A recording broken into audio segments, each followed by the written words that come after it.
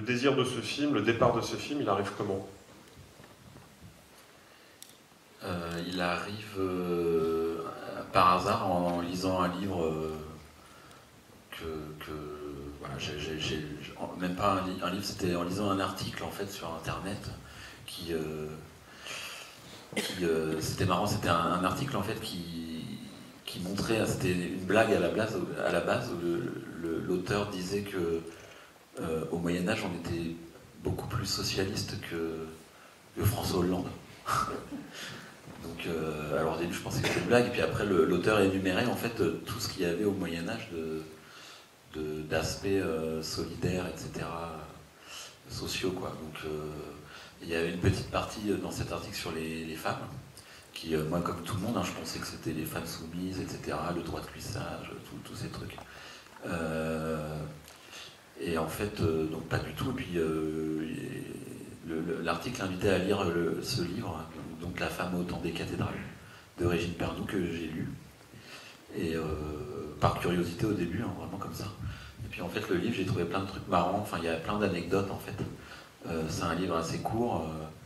et il y a plein d'anecdotes sur toutes les, les, étapes en fait d'émancipation de, la femme dès le début du Moyen Âge jusqu'à jusqu'au XIVe siècle.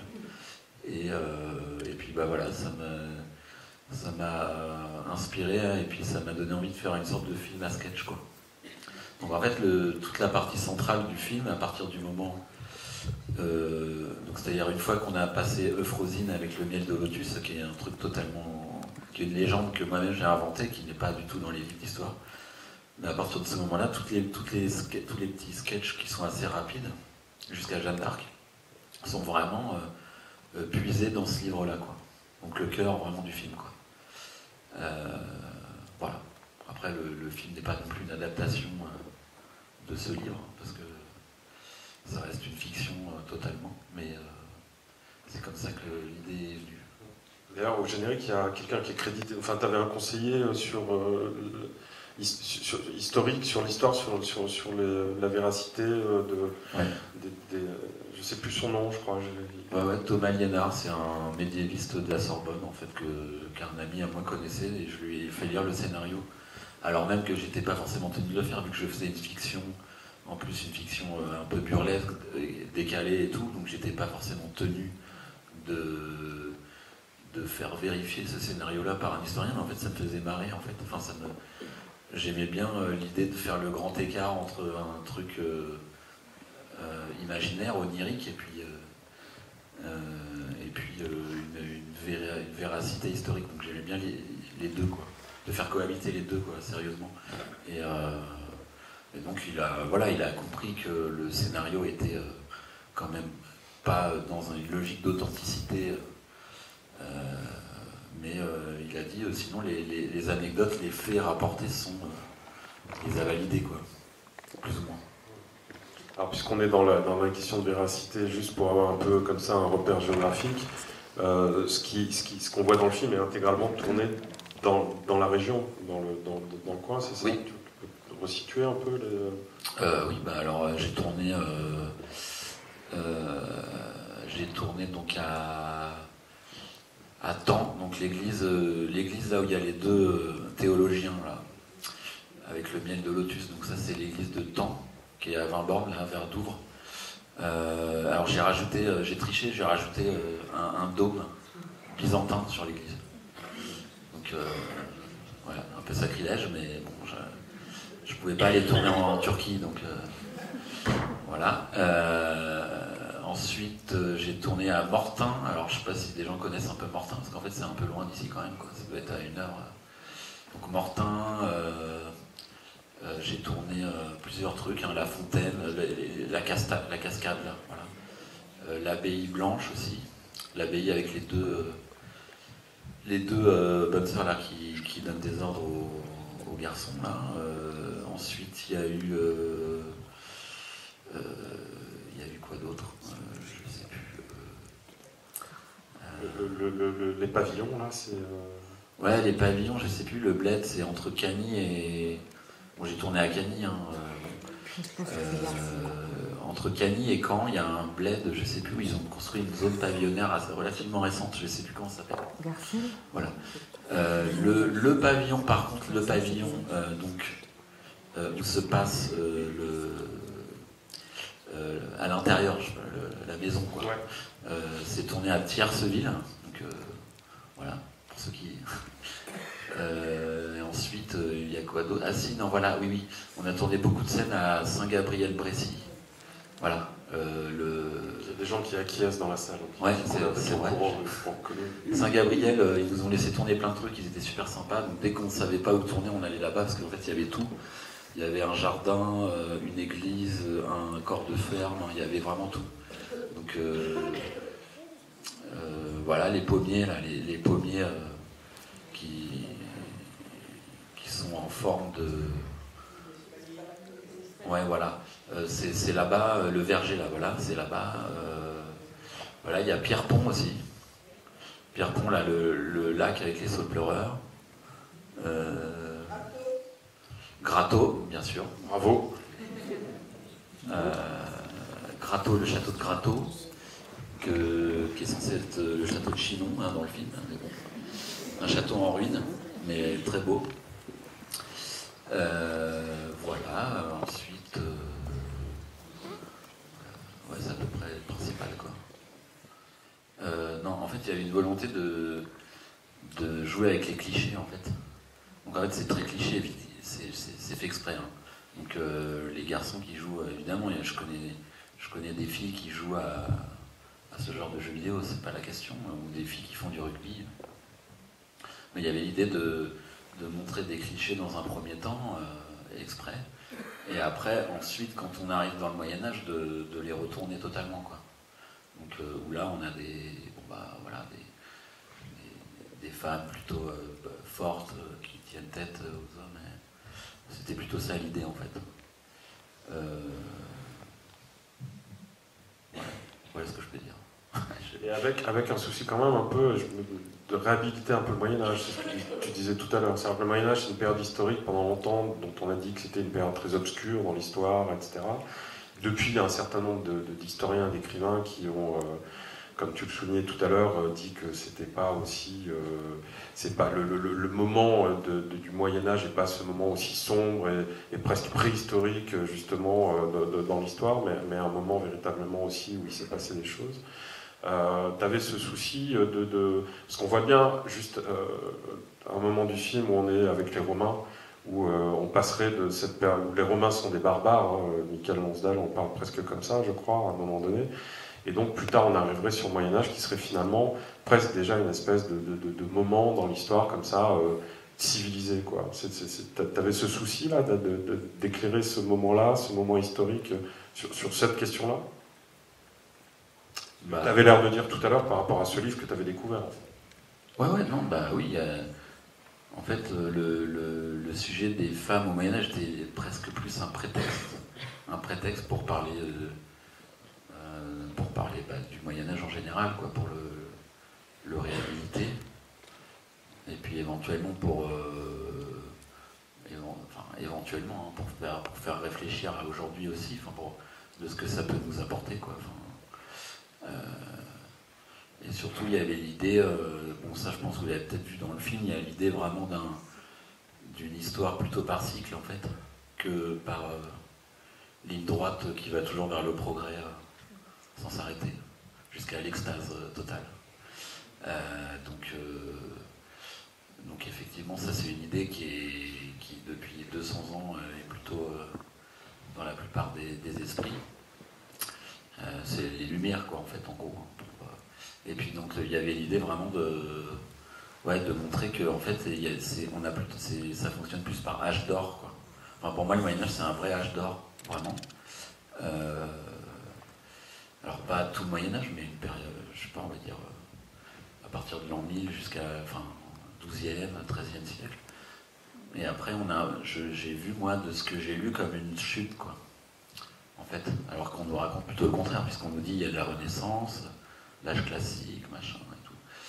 Euh, et moi, je me suis amusé en fait à, à retourner le, comme retourner un peu l'histoire euh, euh, comme une crêpe un peu, non pas que je pense que j'ai raison et que les autres ont tort, mais je veux dire, c'est juste que c'est bien de voir un autre côté quoi, du truc, de, de rétablir un peu la balance. Quoi.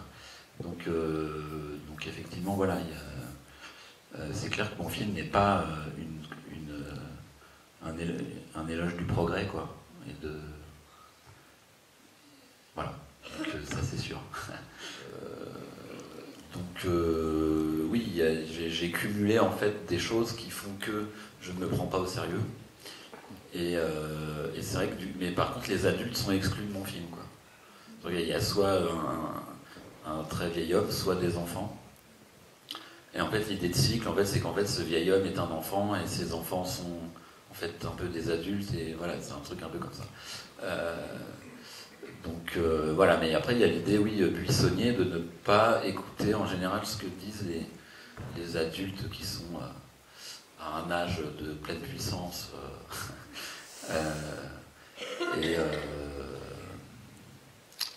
voilà, mais en tout cas, vos remarques, je les prends. euh, Le tu disais aussi euh, qu'ils sont, ils étaient, ils étaient bien pour improviser. C'est-à-dire, euh, en fait, tu, ils ont improvisé véritablement. Tu as gardé des choses de, de leur improvisation. C'était pas des choses précises, écrites, que tu leur as fait apprendre. Et, euh, comme- Non, non, bah si, j'ai un texte, j'avais un texte extrêmement précis. Euh, mais euh, j'ai gardé quelques improvisations. J'en ai fait pas mal, mais en fait j'en ai, j'en ai gardé peut-être, je passe 5 ou 6. Par contre, là où ils improvisaient beaucoup, c'était au niveau du ton, quoi. Qui est quand même la chose la plus importante dans le jeu, quoi. C'est comment tu vas dire cette phrase-là, quoi. Et ça, très souvent, je leur disais, bon, écoute, là, ok, on en a fait euh, deux, là, deux prises, c'était bien. Euh, maintenant, la troisième, tu fais vraiment co- comme tu le sens. Tu, ne m'écoutes pas, euh, joue-le vraiment comme, comme tu as envie de le faire. Quoi. Et là, pour le coup, j'ai gardé beaucoup de ces trucs-là. Quoi. Ça peut-être ça représenter peut-être un tiers de, du film. Quoi. Euh, où là, ils sont, euh, ils n'ont pas d'indication. C'est-à-dire qu'au niveau du ton, euh, ils sont laissés. ils sont.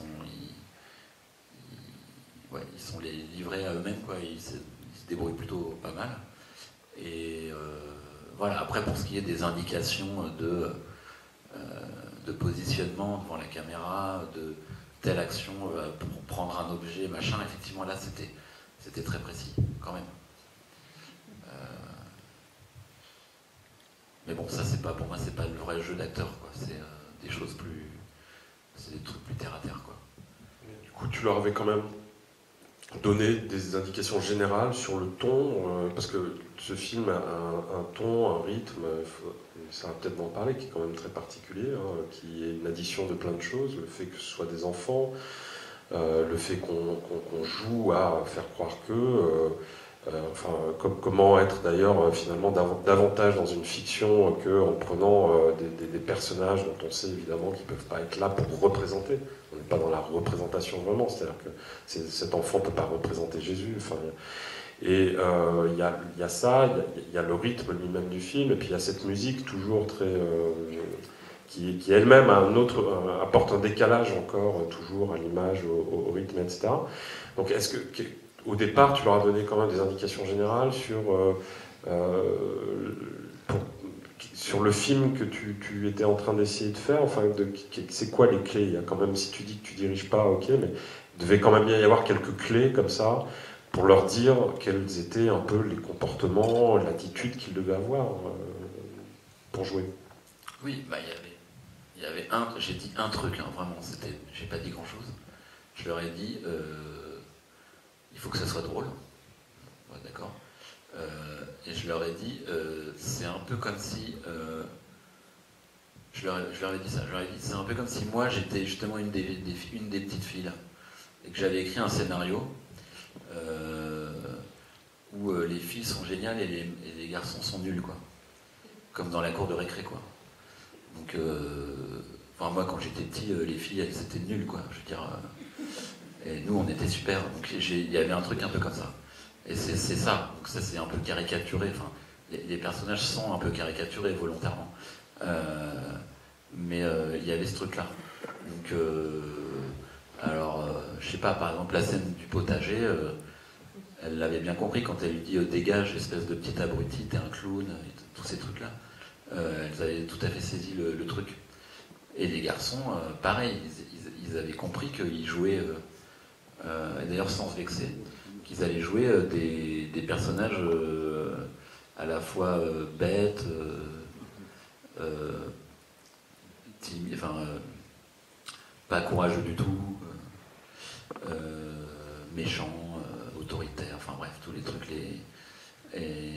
fait, c'était, ils se sont amusés. Quoi. En fait, c'est toujours pareil, c'est qu'il n'y a, rien de, a rien de plus agréable que de jouer un rôle de méchant. Quoi. C'est euh, vraiment parce qu'on on se lâche quoi, pour, une fois, pour une fois qu'on peut être méchant sans qu'on nous en veuille. Alors, euh, du coup, ils, se sont fait un malin plaisir de le faire. Quoi. Euh, donc mais c'est vraiment la seule indication, pour de vrai. Hein. Après, une fois qu'on était au jour le jour dans telle scène, je leur rappelais pas tous les jours, tu sais, c'est un film comme ci, comme ça. Euh, non, c'était pas, pas du tout. Euh, le seul truc que je, supportais pas, c'était quand, quand ils faisaient de la récitation. Mais ça, ils le faisaient parce qu'ils étaient fatigués ou parce qu'ils étaient mal réveillés. Ou, et, là, ça, se mettait à réciter comme un, comme un mauvais spectacle de, comme une mauvaise poésie récitée à l'école. Euh, et, là, je leur disais, non, non, attends, là, tu, tu vois que ça va, ça va pas aller, tu, on n'y croit pas une seconde. Il faut que tu... Et là, je leur disais juste, bah, tu fais-le comme dans la vie, quoi. Qu'est-ce qui se passe? Qu'est-ce que tu ferais à la place de ce personnage? Tu dirais quoi? Tu, tu, ferais quelle tête? Voilà, et puis c'était bon. Mais ça, je l'ai dû, je dû dire trois fois, quoi. J'avais pas besoin. Parce que... c'est bête à dire, mais c'était des enfants euh, intelligents, quoi. Donc, non, mais c'est. Du coup, euh, il comprenait. Comprenait euh, beaucoup de choses que, que du coup. J'avais pensé, moi, initialement, devoir leur dire euh, tous les jours, quoi. Un peu comme du dressage, quoi. En fait, c'est pas du dressage. Hein. Non, parce que j'ai vu des tournages où vraiment c'était du dressage d'enfants, quoi. Donc, ça m'avait un peu déprimé. Mais bon, bref, là, non, c'était l'inverse. Parce que, bah, je sais pas, enfin, il y a au cinéma, est, c'est souvent ça justement, souvent premier degré en fait. Euh, on, arrive dans la, on arrive dans la salle, on regarde un film et puis on est plongé dedans et puis euh, à la fin on, doit ressortir et je sais pas, y a, moi j'aime bien euh, que ça se passe par degré quoi, enfin par étape et que, que le spectateur soit, se sente un peu accompagné quoi. Bon, ça ne veut pas dire que je vais faire tout le temps comme ça, mais, en tout cas, voilà. C'est vrai que sur, les deux films, c'est le cas. Euh, je sais pas, Cocteau disait que la mythologie, qui était quelque chose de faux à la base, finissait toujours, avec le temps, euh, par euh, devenir quelque chose de vrai. C'est-à-dire que la puissance du symbole, etc., la signification des mythes, au final, devenait véritablement quelque chose de, véritable dans, l'histoire. Alors que l'histoire, elle, c'était des éléments vrais qui finalement euh, devenaient des éléments vrais, et, puis on pourrait le dire comme ça rapidement, politiques et instrumentalisés, et qu'au au final, sans doute, euh, les mythes nous enseignaient beaucoup plus de choses vraies que l'histoire véritable. Et là, je trouve que quand c'est Michael Lonsdal, qui est quand même, voilà, comme monsieur le disait tout à l'heure, qui, est parti d'ailleurs, mais euh, quand il parlait de Lonsdal, qui, quand on le voit à l'écran, Lonsdal, c'est toute la puissance du cinéma, c'est toute la puissance du mythe, c'est toute la puissance de, de, la fiction, etc. Donc quand c'est lui qui est là et qui raconte et que c'est sa voix qui parle comme ça, alors c'est de l'histoire, c'est de la mythologie, je ne sais pas bien, mais en tout cas, il y a une ambiguïté comme ça toujours. Euh, en plus, je trouve qu'il y a vraiment beaucoup de malice dans la façon qu'il a de le dire, de le raconter avec sa petite voix, tout doucement, etc. Qui vient porter euh, quelque chose dans le film de euh, on joue à raconter des histoires, mais en jouant à raconter des histoires, quand même au final ce qui va rester, ça va être quelque chose de très juste et de très vrai. Euh, et, et, je pense que, comme le disait Thomas tout à l'heure, la scène, la séquence à la fin dans la voiture de ces deux personnages, de, voilà, d'une certaine manière, c'est une conclusion un peu à tout ce que le film amène petit à petit vers, voilà, alors on, aura joué beaucoup, on s'est amusé, on est allé convoquer Jésus, Jeanne d'Arc, etc. Et c'est Michael Lansdale qui nous raconte tout ça. Mais ça vient mettre un terme un peu à ce qui pourrait être du registre de on s'invente et, on s'amuse, et on s'invente et on s'amuse, mais quand même, on est vraiment en train de voir, on vous a raconté vraiment quelque chose de très sérieux, quoi, et, de, très vrai d'une certaine manière. Je trouve que le narrateur, là, en tout cas dans ce film-là, et du coup, j'ai pas vu le, je suis désolé, le, précédent, mais il a un peu cette fonction-là, en fait, finalement, euh, d'amener vers ça, vers ce moment où euh, on se dit, ok, là, il y a quand même ce propos-là, qui est un propos vraiment véritable, euh, un point de vue sur, sur, sur, sur tout ce qu'on nous a raconté jusque-là.